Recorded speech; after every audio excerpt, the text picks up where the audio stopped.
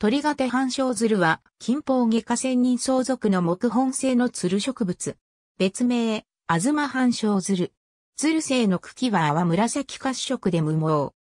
葉は耐性し、一回産出服用で、小葉は卵形から卵上皮神経、長さ2から9センチメートル、幅0.8から5センチメートル、先は A 頭、円に粗い巨子があり、基部はくさび型からやや円形となり、傭兵は長さ1.5から10センチメートルになる。葉の両面にまばらに伏した毛が生える。葉は落葉性。夏季は4から6月。花は良性で茎の溶液に一重なし、小径で計1.5から3センチメートル下向きに咲く。花柄は長さ2から11センチメートルあり、開けで毛がある。花柄に線形の小胞があるが、ガリンに覆われているため外側からは見えない。花弁状の額片は4個、楕円型で、長さ2から3センチメートル、幅0.24から1.2センチメートル、紅白色で、背面は有毛か無毛、円に伏した毛が生え、先端は鋭形、または円形となって反曲する。花弁はない。幽髄は多数あり、長さ10から15ミリメートル、花糸に斜上毛が密生し、薬は長さ2ミリメートルで、薬角は突出しない。果実は狂乱系の痩せ科で、長さ6ミリメートル、有毛、または無毛。残存花中は、長さ2から4センチメートルに伸び、羽毛状に開けで毛が密生する。日本固有種。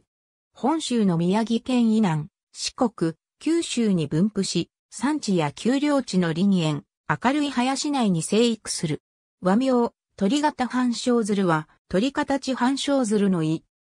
牧野富太郎による命名で、牧野が高知県仁淀川町の鳥形山で採集したものをタイプ標本としたことから、鳥形となり、半生鶴シージャポニカに似ることから、鳥形半生鶴となった。牧野は、よはじめこれを土佐鳥形山に、サイル加工タンク、ウテナイロ単力に、して質薄し歯型は、ンシャウズルと国土愛にたりと述べている。なお、半生鶴とは、花が半生に似て、鶴性であることから言う。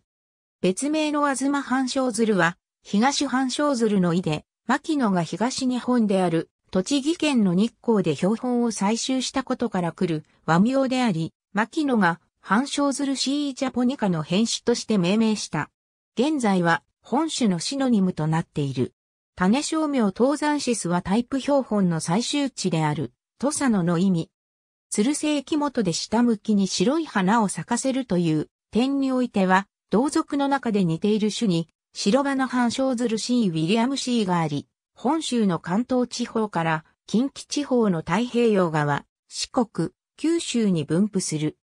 同種の花は交渉形で、学片は円形から東乱上楕円型で、長さ1.5から2センチメートルであり、おわも伏せた形になり、本種のように細長い半生型とはならない。また、半生ずるシージャポニカに似るが、同種の花は紫褐色なので区別がつく。しかし、同種の品種に花が紅白色の白半生ずるシージャポニカ F クリミアがあり、本州の関東地方から中部地方に分布する。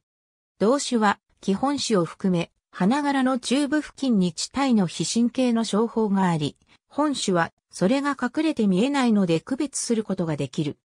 ありがとうございます。